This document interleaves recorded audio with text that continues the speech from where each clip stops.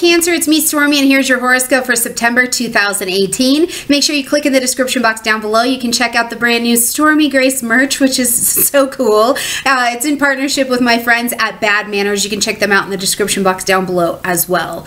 All right, Cancer, this month we've got full systems online and moving forward. The personal planets are out of retrograde. We've got our two big daddy planets, both Saturn and Pluto, also coming direct this month. So we are really just able to get on with it, which I think is such a, a beautiful energy to be working with this month. Now, I will tell you there's a couple things this month that I think are absolutely fabulous. First of all, we've got a full moon that's going to be happening this month that I think brings some good attention your way in your career zone, but we've also got a little blip of energy in there with Mars and Uranus warring this month uh, at the second part of the month. So I do wonder if that's going to bring a little bit of conflict into your world as well. Let's jump in here. Let's break this month down by date and talk about it so I can get you out and enjoying September, okay?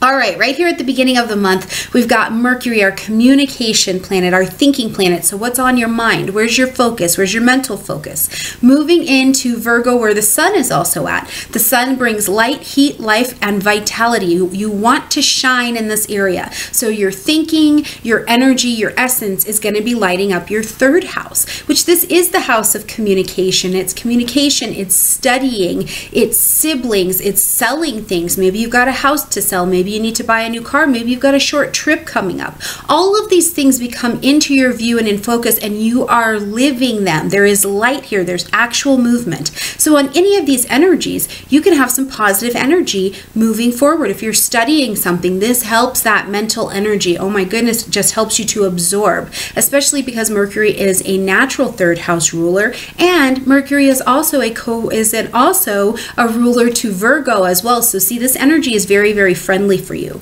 Now, on the 9th, we're going to have a new moon also happening in this third house. So it's very fortunate because just later in the month, we're also going to have Jupiter in a sextile to Pluto, which is a phenomenal energy to be working with. But what this energy at the new moon tells me for you this month is first of all, remember that a new moon, this is where we plant these seeds of intention. We wipe the slate clean and we begin something new, right? So plant those seeds of intention in your third house with your siblings and your communication in your thinking, in your alignment with that. If you're studying, if you're working on a website and you're ready, you're thinking you're going to launch it out there. If you're writing a book, the third house is where we're writing. In the ninth house, we publish that thing, right? So, right here, what do you want? What are your seeds of intention for this area of your life? Because this is a successful new moon. This has success written all over it, has opportunity. You have to do a little bit of work, but it has opportunity written all over it. So this is a very supportive moving forward new moon, even though there is a little bit of Neptune energy, which can cloud some things, but for the most part, this one's on your side, okay?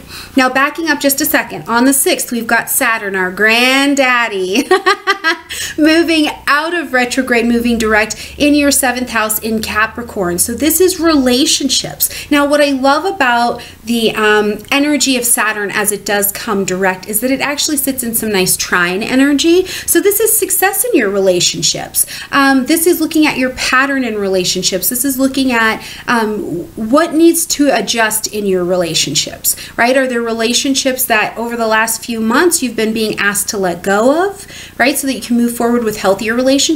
I also think that this particular energy, because Saturn is maturing us here, helps to bring the healthy kind of relationships into your life that you've been looking for and definitely craving.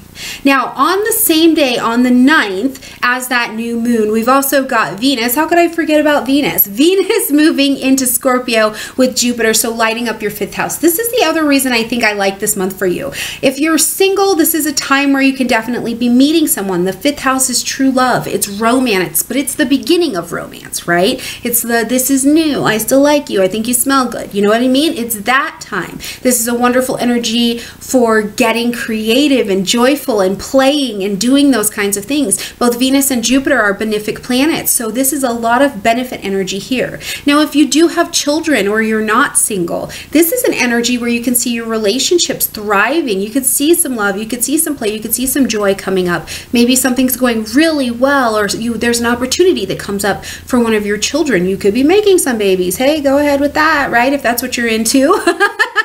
so you've got lots of opportunities here. And I will say this too. If you are married, I feel like this brings a sweet spot to you. This brings a sweet spot to this relationship energy for you as well, okay? Now, as we get to the 11th of the month, we have Mars, our action planet, no longer in retrograde, thank goodness, and moving out of Capricorn, moving into the sign of Aquarius. So for you, this is going to light up the eighth house. Okay, now the eighth house is where we have joint things, joint resources, whether it be finances, taxes, um, the actual act of sex, right? It is our deepest, most personal place where we keep our fears and our talents. This is an intimate energy, and this is also an energy that could reflect on your partner as well. So with Mars being here, we've got action, movement, initiation, assertion, aggression, all of these things. Your partner could be making some additional money, and this includes in a business relationship.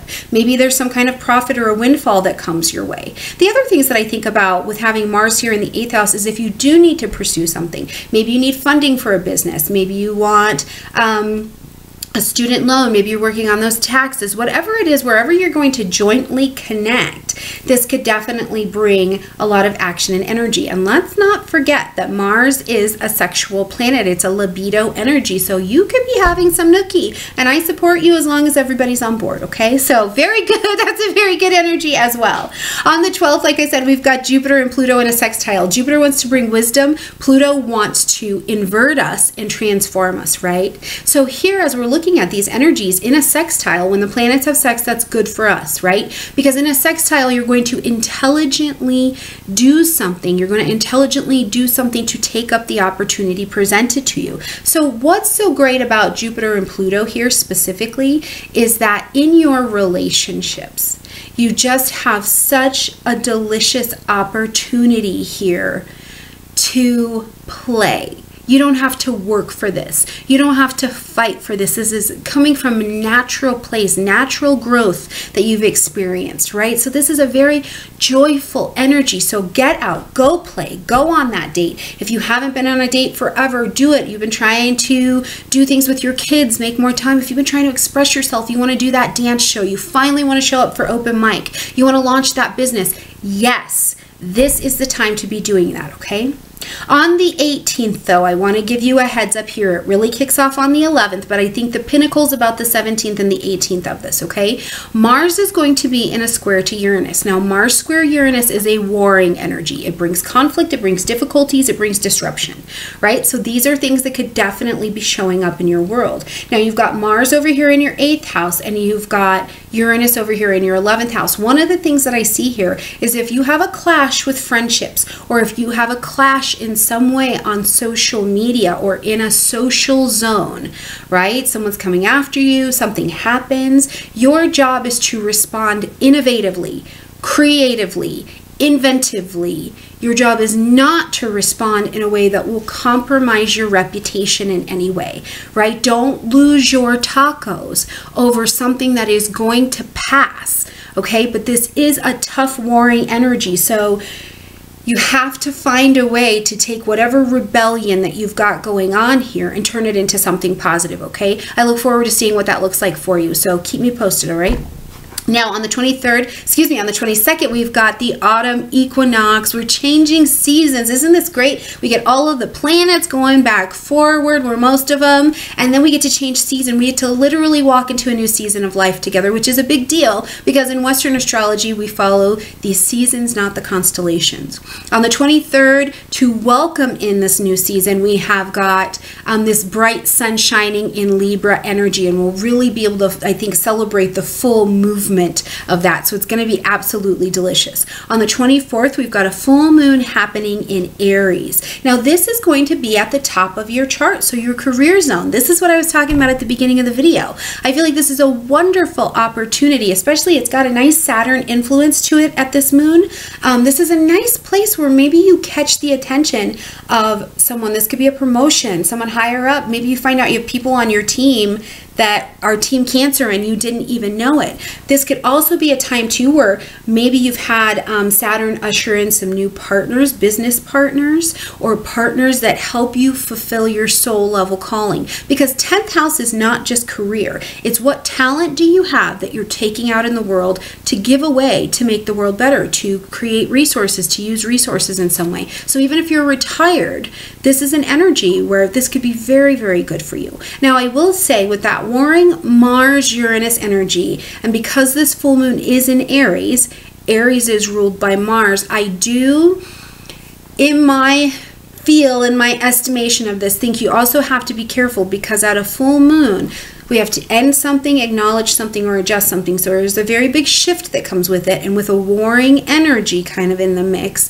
this could be a time too where there's conflict at work. But again, be innovative, be inventive, be creative. Don't be harsh and irrational because you may be um, wading your way through some kind of conflict in a situation in your working zone, and the way that you handle it will really define you moving forward. So set yourself up for success, Cancer, all right? Now, on the 30th, we've got Pluto coming direct and out of retrograde in the sign of Capricorn. So remember, Pluto inverts us, right? He wants us to transform. So he says, All right, Cancer, the old you has got to die off so that a new one can live because I need a mature version. I need this next version to move forward with these relationships, whether they be romance and you're finally ready to bring it in and to let it in and it's good and it's healthy and you're safe, or it's a business partnership, or it's the relationship of you with you. You finally feel like you've got some ground underneath you and you're solid and you can make some different decisions. Whatever it is, the relationship zone with you has taken a shift and it's all for the better, okay? All right, you guys, like this video, comment, share, subscribe. If you need a reading or there's anything I can help you with, come visit me at stormiegrace.com. If not, this, thank you so much for spending some time with me this month, okay? I love you guys so much, and I'll see you next month.